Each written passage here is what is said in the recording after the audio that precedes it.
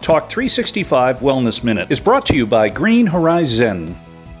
Here is a funny story. I had to have, for a utility thing, I had to call and get my name on it. Okay. And the, Oh, yes. You've already told this story. And I had to give you my real age. I don't care, Trip. I'm not scared. I know your real age too. I, uh, yeah, but I. We got it on each other, but we, this we is also know mutually assured our destruction. years in L- our LA years, so that's all that matters. Hey, But okay, wait, wait, wait. I have Quick, quick news. story. Yes. But quick thought. The day that you go in okay. to an establishment where they have no idea your age, but you could get a discount, and let's say five bucks on a As lunch. a senior, yeah, as a senior. like an early bird special. yeah, something. But many years down the road, when you're a senior, will you do it or will you keep your mouth shut? I don't know. I, I think if I look young enough that I need to prove it, I'll probably do it to get the deal. I'm Okay. gonna be like on the cover of Sports Illustrated, like um, Christie Brinkley at 63. That's my goal. I'm gonna be in better shape. Clearly, have a long ways to go, Christy. I know. I'm even thinking about By buying way, that body machine she uses. There will be no her and uh, what? Bru- not Bruce Lee. the uh, Chuck Norris. Chuck Norris. I want it. Body. there will is be it? no Sports Illustrated by the time you're 63. There I don't won't care. be. I'm gonna find it. Well, I'm gonna, I'm gonna still do it. Something you- along those lines. You'll refurbish it. Something. I'll just reenact it myself. But okay, I have important news here. Are you Okay. ready for this? Yes. Okay, so here at Talk 365 TV, we have this cute little tree that's by the entryway, kind of our covered patio entryway. And we had a bird, a cute little swallow, build its nest. We watch these five birds hatch. And as you know, because it's been all over the news recently, that there are many bird sanctuaries around Utah that if you find a bird or you see a bird's nest that gets destroyed, a place that you can bring the birds and they'll take care of them. Well, we had this apply really close to home because we watched these birds basically hatch, and then on my way out the door to head to a meeting, I watched a bluebird or a scrub jay. I'm being told not to like badmouth bluebirds. I thought it was a bluebird, but maybe the scrub jays. Either way, a big, nasty, mean bird that was blue fly in and pick two of these little babies off while I was standing there. Luckily, my meeting canceled because I was screaming and crying after that and had to go in and guard these birds. I guarded them with my life. We eventually brought him in with my friend Richard Nowak, and he runs one of these sanctuaries here in Salt Lake. It's just in West Valley off of 215. It is amazing sanctuary first of all, and he is a great resource if you do find one of these birds. So he talked me through the first few like days and into the first couple weeks we kept these birds because we've had chickens before so i knew how to do the hot light keep them hot. You have to feed them like every hour. People this is a workout. I had sylvia not editing and we were feeding birds. This was a labor of love. We love them. They were so cute. Your sister met them when Yep. we were shooting that day we loved all the noise and the crazy, even though it does get really, really loud. So eventually got to a point though that it was more than we could handle. So I, I brought them Can in. I, I, had done my a good quick deed. question? Have, yes. you, have you met Quincy? My cat? Yes, the studio cat. He's the manager of the planet, but yeah. Didn't Quincy have some interest in these little birds? Oh yeah, Quincy um, just thought it was the coolest TV channel ever. I think he thought he was in charge of the birds too.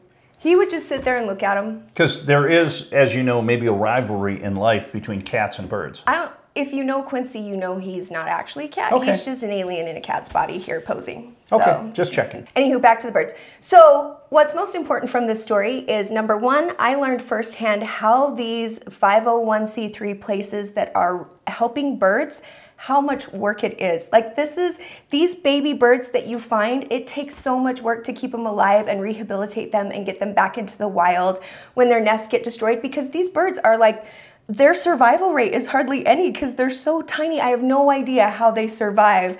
So I brought these birds over to him and got to see it firsthand what he does. He has ducks that are there from China.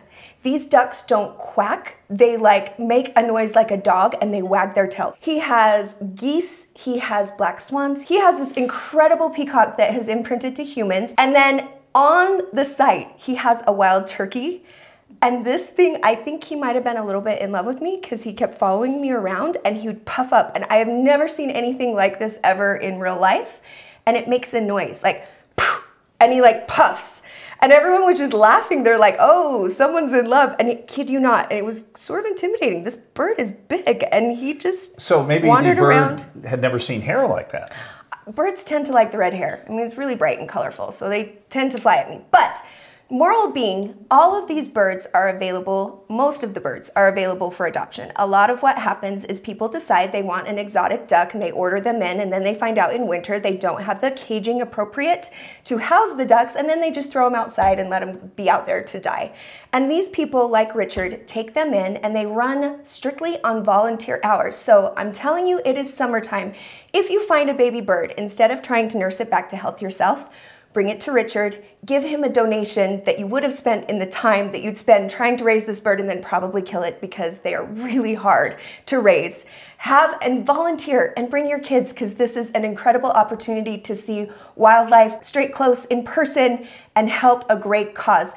Right now, the thing that made me cry and the hardest thing for me there was the macaws and the African gray that's there. He has like five of these birds. They are intelligent. They live to be up to 120 years old.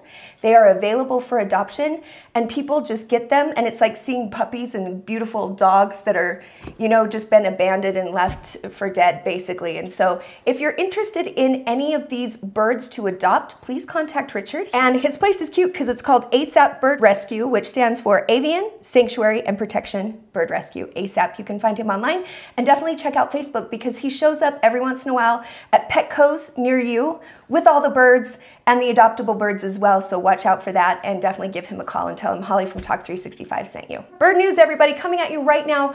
We have our Wellness Minute from Green HoriZen coming at you. Here you go. Talk 365 Wellness Minute is brought to you by Green HoriZen. Hi, I'm Kerri Ford and I'm with Green HoriZen. I have chronic Lyme disease and I'm also a 28 year pharmacy technician. So going to the green side seems kind of strange for me, but upon using CBD, I have gotten off five different pharmaceuticals that I used to have to take. It's done incredible things for me in my life, things that I didn't even expect would happen. I just feel better. I can get up and take care of my kids. And upon using CBD, I end up with my friend here, Snap. He got a soft tissue sarcoma cancer and had to have his leg removed before he was a year old. And the veterinary office that we go to is pretty amazed at how well he overcome losing his leg. And we're both healthier and happier now due to using CBD. So you can come see us here at Green HoriZen or check us online at mygreenhorizen.com for more information.